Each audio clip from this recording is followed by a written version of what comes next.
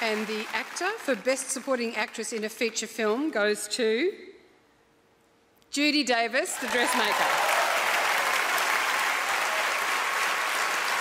Unfortunately, Judy can't be here tonight, so please welcome director Jocelyn Moorhouse to accept the award on her behalf.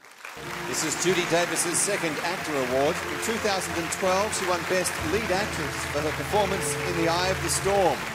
Judy's also won six AFI awards, including two in 1981. For Best Actress in a Lead Role for Winter of Our Dreams and Best Actress in a Supporting Role for Hoodwink.